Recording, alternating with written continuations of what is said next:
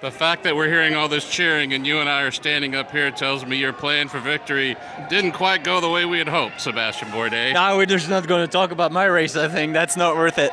Well, uh, but we're missing bacon again. We're like, what's well, happening? bacon's cold, Oh, and so we're going to leave him inside. Uh, I know you were in the car working all day.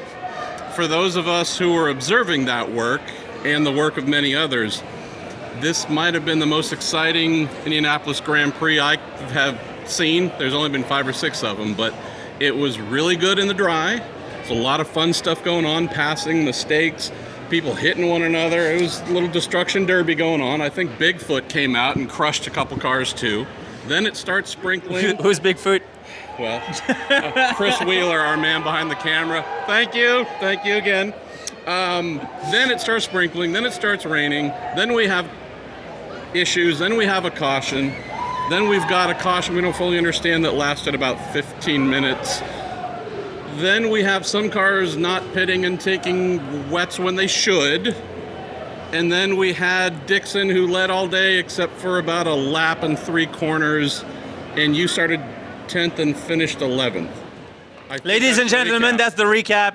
I got nothing to say. I was inside and didn't see anything. Well, so thank you very much. In here, uh, this was a kind of a, I don't know, crazy day. How do you process all this? I don't know. I, I, I've I've been part of a few races, and, and I think I've legitimately passed maybe ten cars, more or less. And I finished 11th and I started 10th. I don't just know quite. Like some, I'm missing something. but I mean, you know, it, it's just uh, when when the weather comes into play like this, it's just it's just really tough to make the right call. We we thought we were on it, and uh, you know, we started on Firestone Reds and Reds again, and most of the leaders did that, and Reds, Reds, Reds again.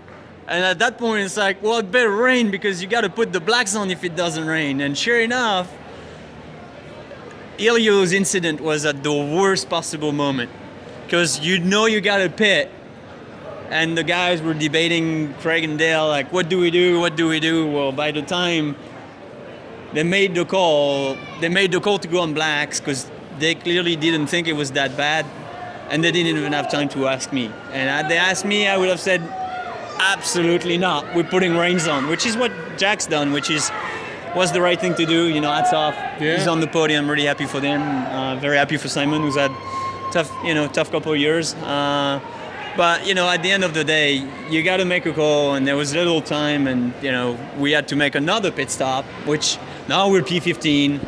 Uh, passed a few cars in, under the rain, and then everybody's tires kind of went off because it really wasn't that wet. Yeah, so yeah. the tires just There was a destroyed brief, themselves. brief period where they were valuable, and then But, it was yeah. tire management. but it was you know it was too wet for dries and and not enough for those full rain tires so you know overall that gecko car you know was fairly solid with some good scraps we're fighting it out with graham there and uh, we're on the same program but yeah just didn't work out Let's talk about our boy Pagenaud a little bit, who, for those who don't know, this guy here was very instrumental in trying to help Simon come over here and get an American career launched.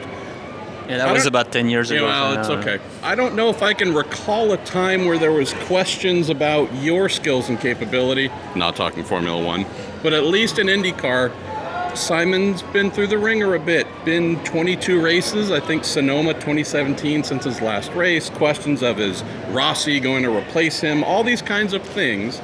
Can you at least share from either personal experience or anything you've seen where, boy, you're in this drought, you're feeling pressure, and then you get this really awesome, call it vindication, release something where you can go, yeah, okay, I'm not done, pal. I'm, I'm I can No, keep I doing mean this. Simon's talent is unquestionable. I mean the, the big thing is obviously is like quite a few others. I mean James and I and you know and Simon probably like are the three I know that struggle a bit with the same thing, like struggling to find the front grip in the middle of the corners without hurting the rears.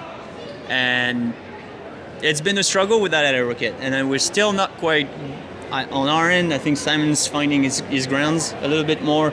This is this is a bit different uh, with the conditions, but he's definitely you know been stronger this year since the beginning of the season, um, and it's it's just really frustrating. You know what you want, you just can't quite get there. And and usually in IndyCar, you have so much to play with that it never really lasts very long. Like you figure it out, you find something that works.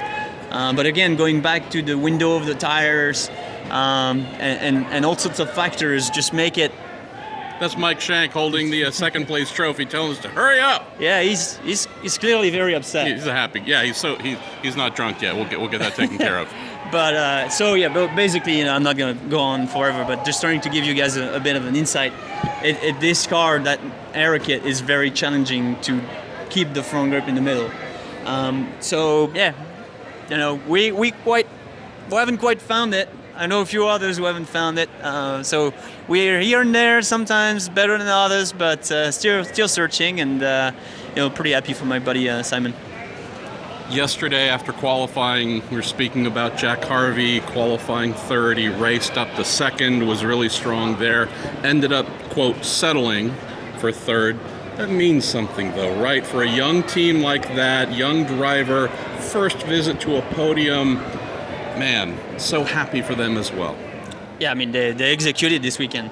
Uh, faultless, quick, good decisions. They, they, they did it. You know, I mean, better than most, obviously. And uh, yeah, I mean, it's it's it's great to see, and that's what IndyCar is all about. You, you bring some quality people, a good driver, and, and you get your stuff together, and, and you don't need to be Penske, and Radio Ganassi to be up there. So uh, it's it's pretty cool to see. Before we pivot and close here, big shout out to Chevy. This had been a, an all Honda show in qualifying.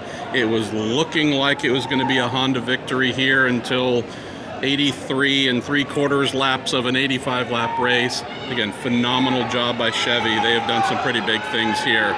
Um, Yeah, I don't know. I, I wouldn't quite agree. I mean, obviously, I'm on the Honda side, but I mean, you know, hats off to Honda because they, you know, we got our butt run a little bit, you know, last year here on the big power tracks and stuff. Yep. And it clearly seems like they've closed the gap and maybe, you know, top Chevy. And so that's that's a big plus, Sure. you know, for new, for us. And then you know we're gonna see what happens at the speedway because that's really where we're gonna you know big test. Um, so looking forward to that, and and really in these conditions, I think you know obviously the Penske cars kind of came to life. Wheels seem to be really strong. Uh, I haven't seen obviously Newgarden come back from that penalty, but uh, Simon, you know, obviously runs Dixie down, which it's not easy. Um, absolutely. so yeah, All right, so we are a couple days away from first practice for the Indianapolis 500. Tell folks what you're going to do tomorrow, Sunday, and Monday while there are no cars on track. And should we tell them we're hoping to find some time to go see the new Avengers movie because both of us are way behind there. Uh, yeah, I mean, obviously it depends a bit on the weather. Maybe, uh, maybe play around the golf or something. I don't know. We'll see. Uh, catch a movie. We we got golf. a date, and uh, and then see what happens. I've got a date with a Frenchman. All right, this is a hamburger and french fries show. Last one before we get to the real reason we're here the Indy 500. Are you ready? I need to go to sleep.